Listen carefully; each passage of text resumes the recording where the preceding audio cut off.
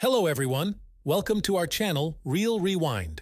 In this video, you'll see how the actors in the film Prison Break 2005 have changed. You'll know their real names and age. I will show you how they looked then and what's with them now in 2023. Don't forget to like and subscribe to the channel. Let's go! Peter Stormare in the TV show he plays John Abruzzi, a powerful inmate who controls much of the prison's criminal activity. He is a ruthless and dangerous character who becomes involved in Michael's escape plan. In 2005, he was 52 years old, and now he is 69 years old. Paul Adelstein in the TV show, he plays Paul Kellerman, a Secret Service agent who was involved in the conspiracy that put Lincoln behind bars. He is a cold and calculating character who will do anything to protect his own interests. In 2005, he was 36 years old, and now he is 53 years old.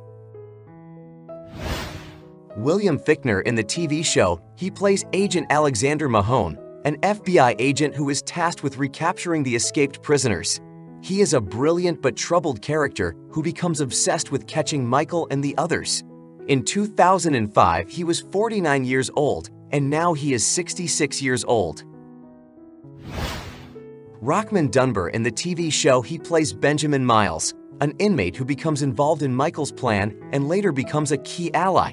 He is a former soldier who is seeking redemption for his past mistakes. In 2005, he was 32 years old, and now he is 50 years old.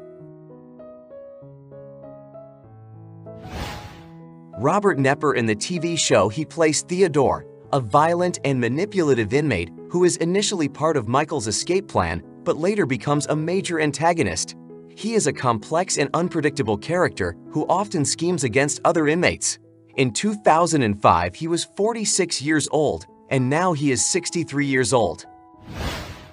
Wade Williams in the TV show, he plays Brad Bellick, a prison guard who initially opposes Michael's plan but eventually becomes involved in it. He is a corrupt and opportunistic character who is always looking out for himself in 2005, he was 44 years old, and now he is 61 years old.